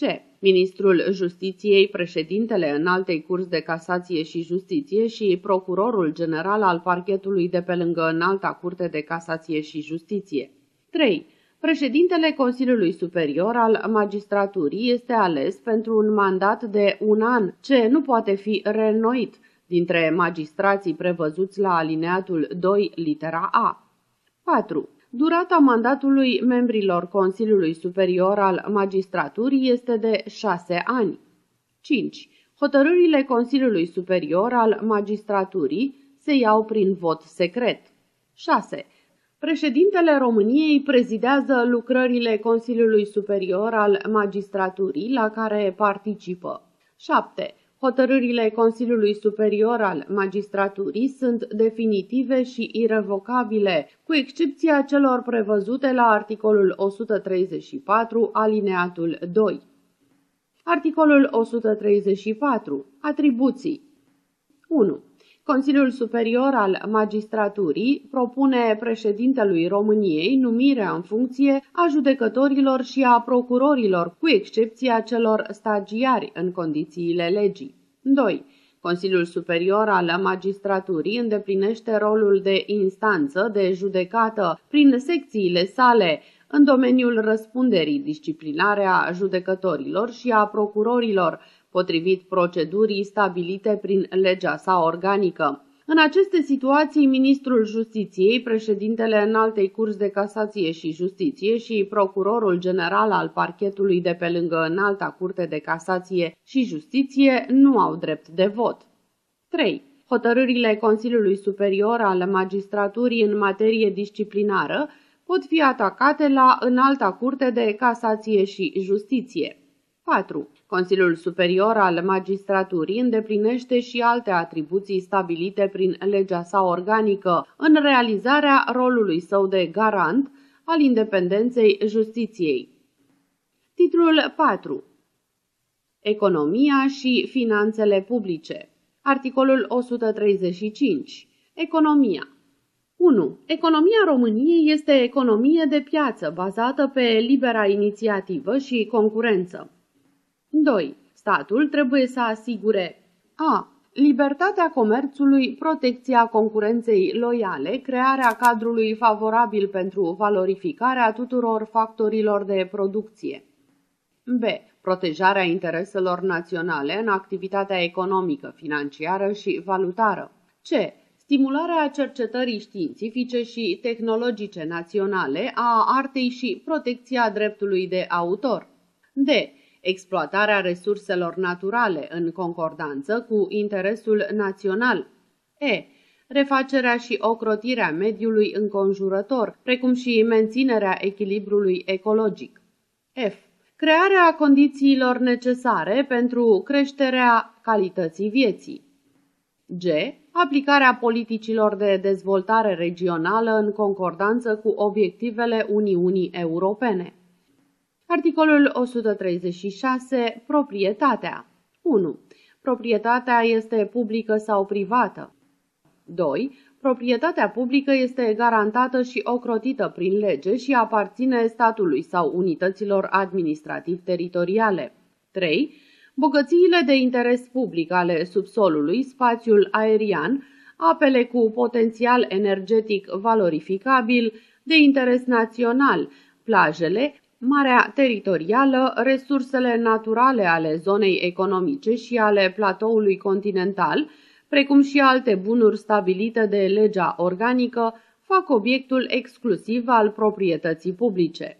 4. Bunurile proprietate publică sunt inalienabile. În condițiile legii organice, ele pot fi date în administrare regiilor autonome ori instituțiilor publice, sau pot fi cesionate ori închiriate, de asemenea, ele pot fi date în folosință gratuită instituțiilor de utilitate publică. 5. Proprietatea privată este inviolabilă în condițiile legii organice. Articolul 137. Sistemul financiar 1.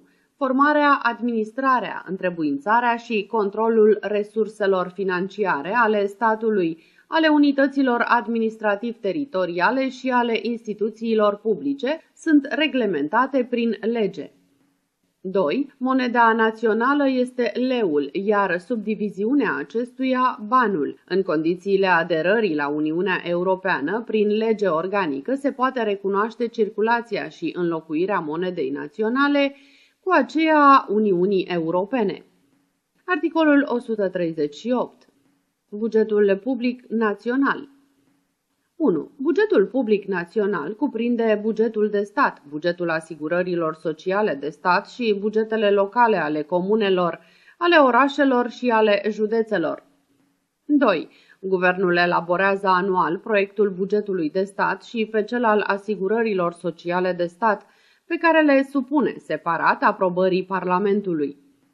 3. Dacă legea bugetului de stat și legea bugetului asigurărilor sociale de stat nu au fost adoptate cu cel puțin 3 zile înainte de expirarea exercițiului bugetar, se aplică în continuare bugetul de stat și bugetul asigurărilor sociale de stat ale anului precedent, până la adoptarea noilor bugete. 4. Bugetele locale se elaborează, se aprobă și se execută în condițiile legii. 5. Nici o cheltuială bugetară nu poate fi aprobată fără stabilirea sursei de finanțare. Articolul 139. Impozite, taxe și alte contribuții. 1. Impozitele, taxele și orice alte venituri ale bugetului de stat și ale bugetului asigurărilor sociale de stat se stabilesc numai prin lege. 2. Impozitele și taxele locale se stabilesc de consiliile locale sau județene, în limitele și în condițiile legii. 3. Sumele reprezentând contribuțiile la constituirea unor fonduri se folosesc în condițiile legii, numai potrivit destinației acestora. Articolul 140. Curtea de conturi 1. Curtea de conturi exercită controlul asupra modului de formare, de administrare și de întrebuințare a resurselor financiare ale statului și ale sectorului public. În condițiile legii organice, litigiile rezultate din activitatea Curții de Conturi se soluționează de instanțele judecătorești specializate. 2. Curtea de Conturi prezintă anual Parlamentului un raport asupra conturilor de gestiune ale bugetului public național din exercițiul bugetar expirat cuprinzând și neregulile constatate. 3. La cererea Camerei Deputaților sau a Senatului, Curtea de Conturi controlează modul de gestionare a resurselor publice și raportează despre cele constatate. 4. Consilierii de conturi sunt numiți de Parlament pentru un mandat de 9 ani, care nu poate fi prelungit sau înnoit. Membrii Curții de Conturi sunt independenți în exercitarea mandatului lor și inamovibili pe toată durata acestuia. Ei sunt supuși incompatibilităților prevăzute de lege pentru judecători. 5. Curtea de conturi se înnoiește cu o treime din consilierii de conturi numiți de Parlament din 3 în 3 ani, în condițiile prevăzute de legea organică a curții. 6. Revocarea membrilor curții de conturi se face de către Parlament în cazurile și condițiile prevăzute de lege. Articolul 141. Consiliul Economic și Social. Consiliul Economic și Social este organ consultativ al Parlamentului și al Guvernului în domeniile de specialitate stabilite prin legea sa organică de înființare, organizare și funcționare. Titlul 5. Curtea Constituțională Articolul 142. Structura 1. Curtea Constituțională este garantul supremației Constituției. 2. Curtea Constituțională se compune din 9 judecători numiți pentru un mandat de 9 ani, care nu poate fi prelungit sau înnoit. 3. Trei judecători sunt numiți de Camera Deputaților, 3 de Senat și 3 de președintele României. 4. Judecătorii Curții Constituționale aleg prin vot secret președintele acesteia pentru o perioadă de 3 ani. 5. Curtea Constituțională se înnoiește cu o treime din judecătorii ei, din 3 în 3 ani, în condițiile prevăzute de legea organică a Curții. Articolul 143. Condiții pentru numire. Judecătorii Curții Constituționale trebuie să aibă pregătire juridică superioară, înaltă competență profesională și o vechime de cel puțin 18 ani în activitatea juridică sau în învățământul juridic superior. Articolul 144. Incompatibilități. Funcția de judecător al Curții Constituționale este incompatibilă cu oricare altă funcție publică sau privată, cu excepția funcțiilor didactice din învățământul juridic superior. Articolul 145. Independența și inamovibilitatea. Judecătorii Curții Constituționale sunt independenți în exercitarea mandatului lor și inamovibili pe durata acestuia. Articolul 146. Atribuții. Curtea Constituțională are următoarele atribuții. A. Se pronunță asupra constituționalității legilor înainte de promulgarea acestora la sesizarea președintelui României, a unuia dintre președinții celor două camere, a guvernului, a înaltei curs de casație și justiție, a avocatului poporului, a unui număr de cel puțin 50 de deputați sau de cel puțin 25 de senatori, precum și, din oficiu, asupra inițiativelor de revizuire a Constituției. B. Se pronunță asupra constituționalității tratatelor sau altor acorduri internaționale la sesizarea unuia dintre președinții celor două camere, a unui număr de cel puțin 50 de deputați sau de cel puțin 25 de senatori. C. Se pronunță asupra constituționalității regulamentelor Parlamentului la sesizarea unuia dintre președinții celor două camere a unui grup parlamentar sau a unui număr de cel puțin 50 de deputați sau de cel puțin 25 de senatori. D. Hotărăște asupra excepțiilor de neconstituționalitate privind legile și ordonanțele ridicate în fața instanțelor judecătorești sau de arbitraj comercial. Excepția de neconstituționalitate poate fi ridicată și direct de avocatul poporului. E soluționează conflictele juridice de natură constituțională dintre autoritățile publice la cererea președintelui României, a unuia dintre președinții celor două camere, a primului ministru sau a președintelui Consiliului Superior al Magistraturii. F. Veghează la respectarea procedurii pentru alegerea președintelui României și confirmă rezultatele sufragiului. G constată existența împrejurărilor care justifică interimatul în exercitarea funcției de președinte al României și comunică cele constatate Parlamentului și Guvernului. H. Dă aviz consultativ pentru propunerea de suspendare din funcția președintelui României. I. Veghează la respectarea procedurii pentru organizarea și desfășurarea referendumului și confirmă rezultatele acestuia. J. Verifică îndeplinirea condițiilor pentru exercitarea inițiativei legislative de către cetățeni. K. Hotărăște asupra contestațiilor care au ca obiect constituționalitatea unui partid politic. L. Îndeplinește și alte atribuții prevăzute de legea organică a curții. Articolul 147. Deciziile curții constituționale 1 dispozițiile din legile și ordonanțele în vigoare, precum și cele din regulamente, constatate ca fiind neconstituționale, își încetează efectele juridice la 45 de zile de la publicarea deciziei Curții Constituționale. Dacă în acest interval Parlamentul sau Guvernul, după caz, nu pun de acord prevederile neconstituționale cu dispozițiile Constituției. Pe baza acestui termen, dispozițiile constatate ca fiind neconstituționale sunt suspendate de drept. 2. În cazurile de neconstituționalitate care privesc legile, înainte de promulgarea acestora, Parlamentul este obligat să reexamineze dispozițiile respective pentru punerea lor de acord cu decizia Curții Constituționale. 3 în cazul în care constituționalitatea tratatului sau acordului internațional a fost constatată potrivit articolului 146 litera B.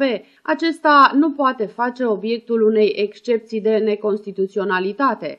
Tratatul sau acordul internațional constatat ca fiind neconstituțional nu poate fi ratificat.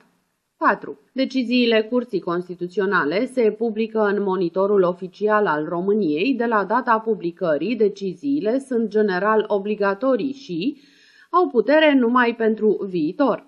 Titlul 6. Integrarea euroatlantică. Articolul 148. Integrarea în Uniunea Europeană. 1. Aderarea României la tratatele constitutive ale Uniunii Europene în scopul transferării unor atribuții către instituțiile comunitare, precum și al exercitării în comun cu celelalte state membre a competențelor prevăzute în aceste tratate, se face prin lege adoptată în ședința comună a Camerei Deputaților și Senatului, cu o majoritate de două treimi din numărul deputaților și senatorilor. 2 ca urmare a aderării, prevederii tratatelor constitutive ale Uniunii Europene, precum și celelalte reglementări comunitare cu caracter obligatoriu, au prioritate față de dispozițiile contrare din legile interne, cu respectarea prevederilor actului de aderare. 3. Prevederile alineatelor 1 și 2 se aplică în mod corespunzător și pentru aderarea la actele de revizuire a tratatelor constitutive ale Uniunii Europene. 4. Parlamentul, președintele României, guvernul și autoritatea judecătorească garantează aducerea la îndeplinire a obligațiilor rezultate din actul aderării și din prevederile alineatului 2. 5. Guvernul transmite celor două camere ale Parlamentului proiectele actelor cu caracter obligatoriu înainte ca acestea să fie supuse aprobării instituțiilor Uniunii Europene. Articolul 149. Aderarea la Tratatul Atlanticului de Nord. Aderarea României la Tratatul Atlanticului de Nord se face prin lege adoptată în ședința comună a Camerei Deputaților și Senatului, cu o majoritate de două treimi din numărul deputaților și senatorilor. Titlul 7. Revizuirea Constituției Articolul 150. Inițiativa revizuirii 1. Revizuirea Constituției poate fi inițiată de președintele României la propunerea guvernului de cel puțin o pătrime din numărul deputaților sau al senatorilor, precum și de cel puțin 500 de mii de cetățeni cu drept de vot. 2. Cetățenii care inițiază revizuirea Constituției trebuie să provină din cel puțin jumătate din județele țării, iar în fiecare din aceste județe sau în municipiul București trebuie să fie înregistrate cel puțin 20.000 de semnături în sprijinul acestei inițiative. Articolul 151. Procedura de revizuire 1. Proiectul sau propunerea de revizuire trebuie adoptată de Camera Deputaților și de Senat, cu o majoritate de cel puțin două treimi din numărul membrilor fiecărei camere. 2. Dacă prin procedura de mediere nu se ajunge la un acord, Camera Deputaților și Senatul, în ședință comună, hotărăsc cu votul a cel puțin două pătrimi din numărul deputaților și senatorilor. 3. Revizuirea este definitivă după aprobarea ei prin referendum organizat în cel mult 30 de zile de la data adoptării proiectului sau a propunerii de revizuire. Articolul 152. Limitele revizuirii 1. Dispozițiile prezentei Constituții privind caracterul național, independent, unitar și indivizibil al statului român, forma republicană de guvernământ, integrarea teritoriului, independența justiției, pluralismul politic și limba oficială nu pot forma obiectul revizuirii. 2. De asemenea, nicio revizuire nu poate fi făcută dacă are ca rezultat suprimarea drepturilor și a libertăților fundamentale ale cetățenilor sau a garanțiilor acestora. 3. Constituția nu poate fi revizuită pe durata stării de asediu sau a stării de urgență și nici în timp de război. Titlul 8. Dispoziții finale și tranzitorii.